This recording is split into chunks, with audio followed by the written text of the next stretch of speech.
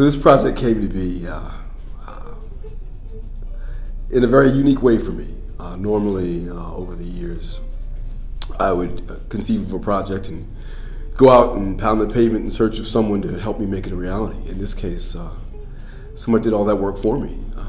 Jeff Lanier from Chesky contacted me with an idea um, about doing a, a, a, an evening of live recordings with, with some musicians he'd already sort of uh, thought about and conceived in terms of sound and, and, and viability for the project. Um, so that's basically how I came, I came to be. Uh, uh, I wasn't sure what we would play or how we would play it.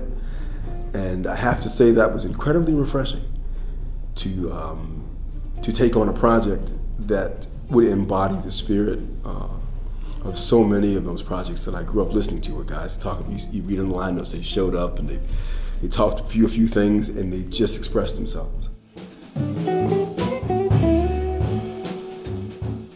But it's also lovely to be able to sit down in a, in a, controlled environment with great speakers and a wonderful system and listen to, listen to some music that's so pristinely recorded.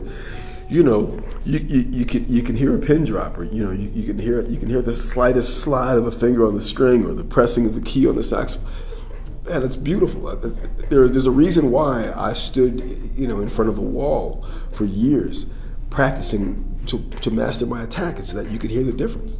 And you're just not going to hear that on, a, on an iPad. you know, so thank God for HD tracks and high resolution audio. Amen. I had no idea what the crash test dummy was doing there. um, I have to say, I can't tell you how many times I would love to have had an engineer come in and go, okay, can we just have the drummer play a little softer because we can't hear everybody else? the idea that, that um, uh, I'm sure you know from the from the company side or the, or the engineering side, it seems like uh, a daunting task just to get everyone to play um, in a way where, where where you can you can sort of achieve a, a live balance that is then uh, then translates to the recording. But from my standpoint, it was really wonderful to see what happens when the musicians have to become responsible for for creating or controlling their sound in such a way that it translates to a balance on a recording. Sometimes you can you can conceive of a project that's that's designed to challenge the musicians just to get from start to finish. Um,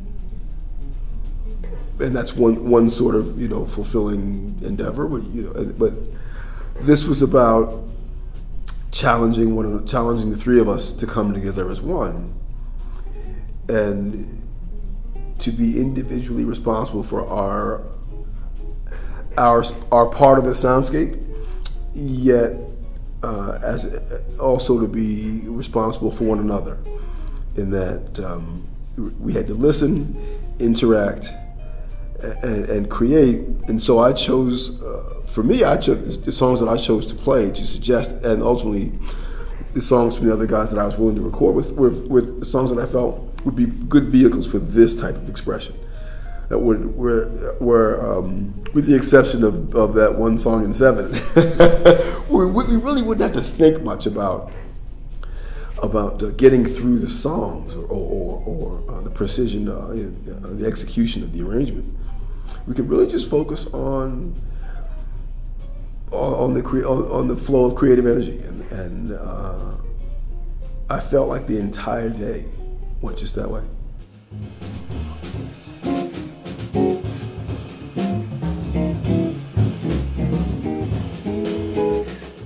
That's it, markwhitfield.com. Can't beat it.